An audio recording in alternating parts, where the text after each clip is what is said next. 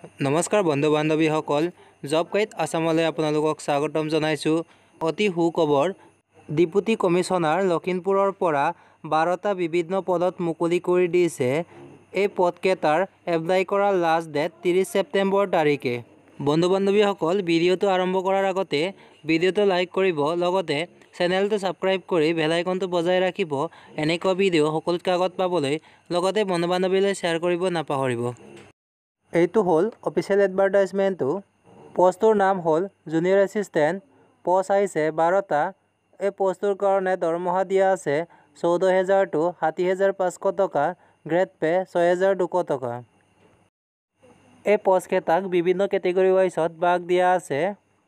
Unreserved তিনিটা S চিৰ কাৰণে এটা এছ টি পিৰ কাৰণে চাৰিটা এছ টি এইচৰ কাৰণে দুটা ই ডব্লিউ এছৰ কাৰণে দুটা পষ্ট ৰিজাৰ্ভেশ্যন আছে।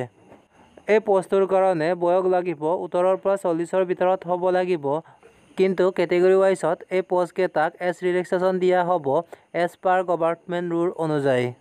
এই পষ্টটোৰ কাৰণে এডুকেশ্যন কোৱালিফিকেশ্যন লাগিব যিকোনো শাখাৰ পৰা গ্ৰেজুৱেশ্যন হ'ব লাগিব লগতে ছয়মহীয়া কম্পিউটাৰ ডিপ্ল'মা থাকিব লাগিব। এই পষ্টকেইটাৰ কাৰণে অনলাইন এপ্লাই কৰিব লাগিব। ইয়াৰে অনলাইন এপ্লাই ষ্টাৰ্ট হ'ব দহ ছেপ্টেম্বৰ আৰু লাষ্ট ডেট হ'ব ত্ৰিছ ছেপ্টেম্বৰ তাৰিখে। বন্ধু বান্ধৱীসকল এই পষ্টটোৰ কাৰণে এপ্লাই কৰাৰ আগতে আপোনালোকে এই এডভাৰটাইজমেণ্টটো নিজে ডাউনলোড কৰি এবাৰ চাই ল'ব। মই ডেছক্ৰিপশ্যনত ডাউনলোড কৰা লিংক দিছোঁ তাৰ পৰা গৈ আপোনালোকে ডাউনলোড কৰিব পাৰিব।